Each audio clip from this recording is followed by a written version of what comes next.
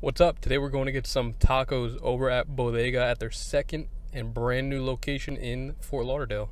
Bodega is probably one of my favorite places to get tacos for sure in Miami. Um, and like I said, they just opened this location I think in November of 2020 and uh, I love this place. Uh, I've been wanting to make a video here for a while, so I hope you guys like it. If this is your first time to my channel, I make weekly videos about where to eat in South Florida. I've made videos on Indian food, Ethiopian food, hot pot, Korean barbecue, Texas style barbecue, uh, ice cream cookie sandwiches, cinnamon buns, Jamaican food, a ton of stuff, a ton of variety. I like everything. So if you want to find a new place to eat in South Florida, subscribe to the channel. But I'm running late, so let's get going.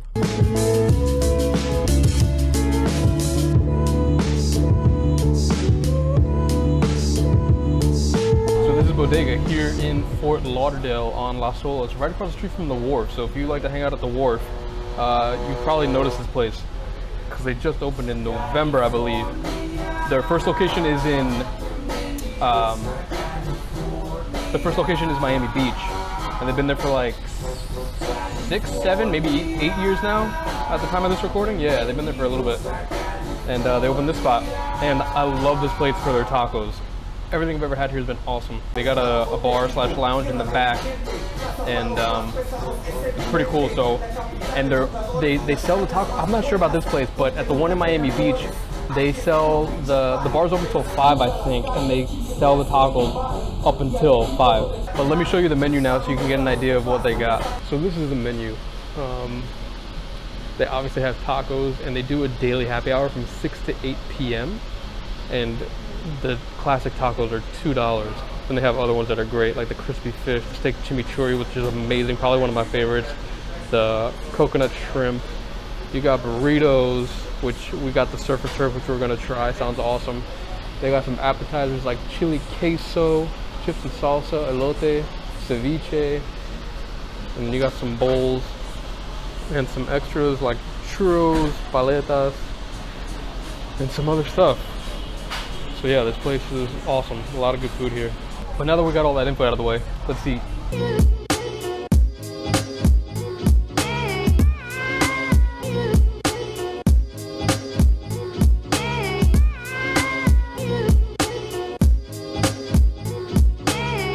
gonna start with these uh, loaded carne asada nachos, which look amazing.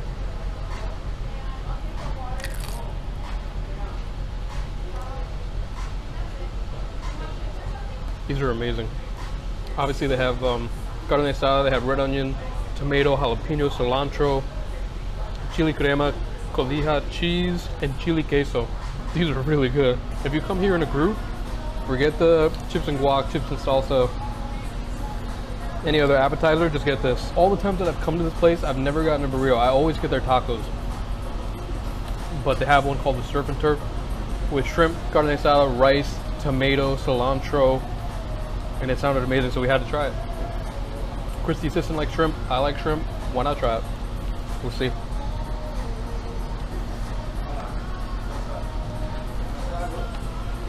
This is an awesome burrito. And partly what makes it awesome is, is that it's not just filled with stuff. It has plenty. It has enough. And it's a perfect amount. A plus burrito for sure. For sure, for sure. And finally, let's talk about the things that keep me coming back to this place. Always, always, always, always. Anytime I have friends or family visit and they say they want tacos, I bring them to this place just because I love the tacos here so much. Let's start with this uh, coconut shrimp taco, which has coconut shrimp, mango pico, potato sticks, cilantro, and salsa rosada. And it looks awesome. I don't know if I've had this one before. I've had a couple of their fish ones. Don't remember if it was the crispy. I think I've had the crispy. I've had the mahi. Um, they have another shrimp one, I think. Uh, tequila, tequila shrimp. But anyway.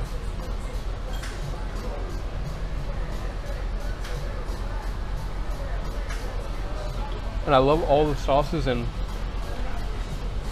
fixings they put on their tacos. Like they'll add, the El Pastor has, um, it has pineapple on it. So this one has a mango pico, the potato sticks.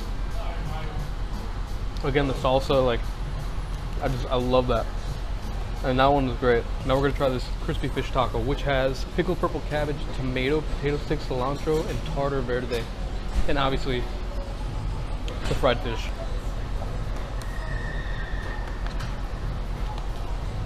That one's always been great, and I think it's important because the fish is not super fried. You know, it's not a greasy slab of fried fish. Now we're gonna talk about this El Pastor taco, which is obviously pork, uh, they have charred pineapple, red onion, cilantro, and a salsa rosada. This, I think, for me, is one of my favorite places to get the, an El Pastor taco, right here. I just love the, the pineapple on El Pastor, and anytime I go to a place that doesn't have pineapple on their El Pastor taco, I'm a little disappointed, because I really think it makes it that much better. Let's talk about this barbacoa taco. Braised short rib with tortilla cheese, charred onion, potato sticks, cilantro, and salsa rosada. This is also a really good taco here.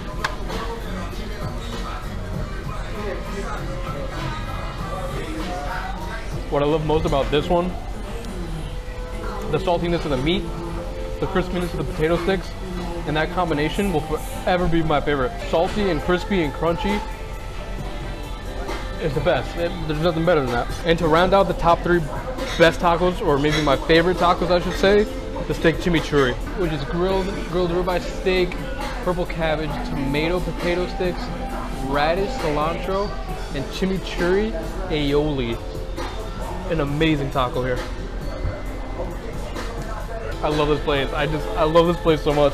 Again, with this one, what probably makes it one of my favorites is the saltiness, the the crispiness of the potato sticks, and the steak is good. It's flavorful. It's charred, like meaty, salty, crispy. Like what?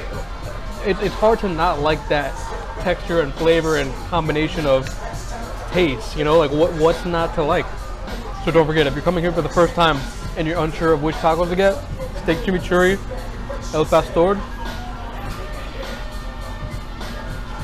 What was the other one?